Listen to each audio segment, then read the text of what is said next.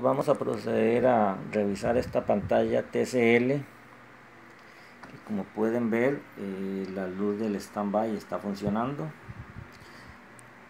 pero a la hora que se le da power no está encendiendo. Vamos a destaparla para empezar a revisar. Ya aquí la tenemos destapada vamos a empezar a medir voltajes para seguir con la revisión. Vamos a comprobar los, los voltajes principales que son el de 12 voltios.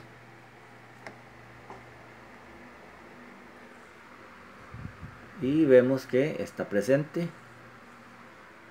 Medimos el voltaje que alimenta los LED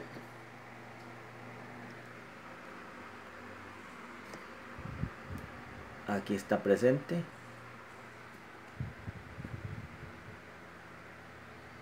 Vamos a ver el los voltajes de las fuentes secundarias.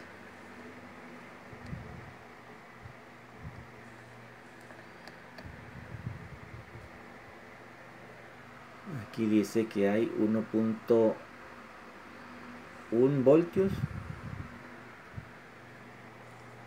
Vamos a medir en este regulador dice que hay 3.3 voltios. En este otro punto. Dice que hay 5 voltios. Y en este otro punto que no debería haber voltaje hasta que la pantalla encienda dice que hay 1.8 voltios este daño casi siempre es característico de la falla en la memoria, en la SPI flash. Vamos a, proceder a, a, quitarla y tratar de reprogramarla si se tiene el, archivo bin. Vamos a, a proceder a, a levantar la memoria y programarla.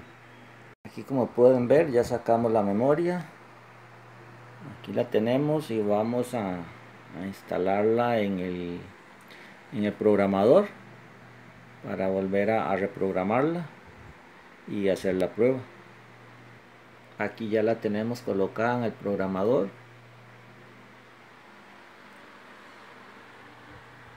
Y tenemos el programa abierto ya ahí la detectamos.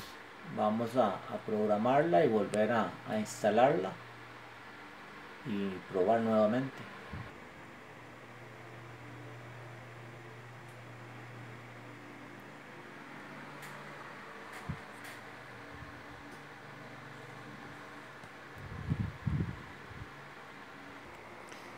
ya una vez programada la memoria la colocamos nuevamente y volvemos a medir los voltajes para ver cómo, cómo respondió la programación. Igual volvemos a medir los voltajes en las subfuentes. Y aquí el primero 1.1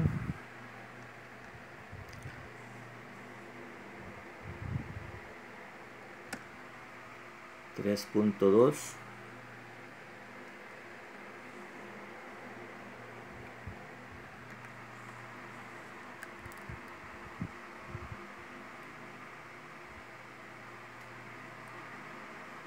y los 5 voltios. Ahora vamos a proceder a medir a ver si están presentes los 1.8 voltios.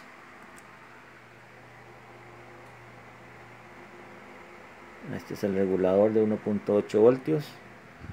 Y como podemos ver una vez que se cambió bueno se programó la memoria nuevamente ya no está presente el voltaje de 1.8 voltios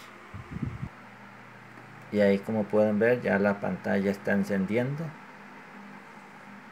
Vamos a, terminar de armarla para eh, probarla bien. Al encender la pantalla nuevamente nos dimos cuenta de que salía con la imagen invertida. Entonces ingresamos al menú de servicio y nos fuimos al mirror control. Eh, estaba apagado entonces lo encendimos para virar la imagen. Este es el video para esta semana. Espero que la información les sea de utilidad y no olviden compartir y suscribirse.